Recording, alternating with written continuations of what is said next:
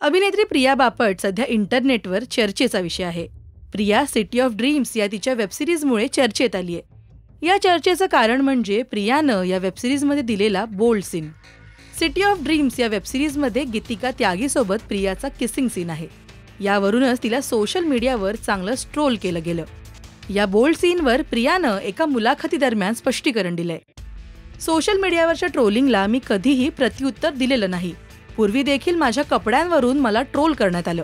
मी छोटे कपडे का घालते असे प्रश्न सुद्धा मला सोशल मीडियाच्या माध्यमातून विचारण्यात आले. पण यावर काहीही न बोलता केवळ आपण आपलं काम केलं पाहिजे असं मला वाटतं. प्रेक्षकांनी सिटी ऑफ ड्रीम्स ही वेबसिरीज पाहिली तरच यामध्ये हे बोल्ड दृश्य का आहे हे लोकांना कळेल असं स्पष्टीकरण प्रियानं दिलं. मराठी सिनेसृष्टीमध्ये नेहमीच सोजवळ गर्ल नेक्स्ट डोअर अशा भूमिका साकारणाऱ्या प्रियानं चक्क या वेबसिरीजमध्ये एक बोल्ड दृश्य दिल्यानं नेटकऱ्यांना चांगलाच धक्का बसलाय. नाटक मालिका आणि सिनेमा अशा विविध माध्यमांमध्ये आपल्या अभिनयाचा ठसा उमटवणारी प्रिया बापट आता डिजिटल क्षेत्रामध्ये सुद्धा आली आहे. प्रियाच्या या बोल्ड सीनवर तुमचं काय मत आहे हे आम्हाला कमेंट्समध्ये नक्की सांगा.